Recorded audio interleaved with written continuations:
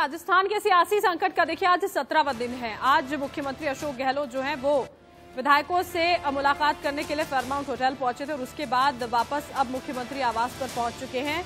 यहाँ पर कांग्रेस की ओर से देखिए एक बाकायदा अभियान शुरू किया गया है। स्पीकअप फॉर डेमोक्रेसी के नाम से राहुल गांधी ने इसका आह्वान यहाँ पर किया है, क्योंकि जिस तरह की स्थिति बनी हुई है, उसको लेकर कांग्रेस लगातार आक्रामक नज़र आ रही है।